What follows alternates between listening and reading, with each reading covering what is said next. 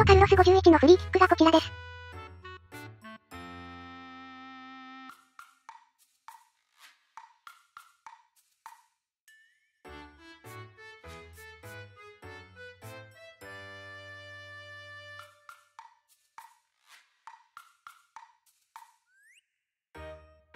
このキック現役選手でも蹴れる人いるかな？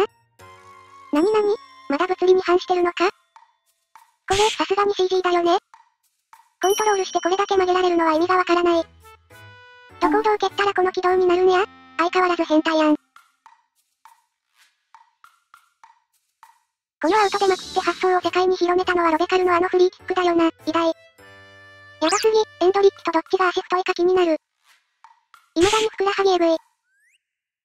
マジでこれやばい。高校の頃に真似して太もも肉離れしたん思い出した。ロベカルの筋力をもってして生まれる技やは、太もも63センチぐらいあっけ女性のウエストぐらいあったもんね。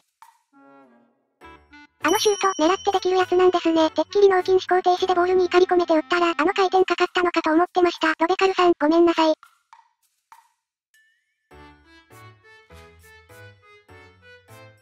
ピンポン玉の起動で草。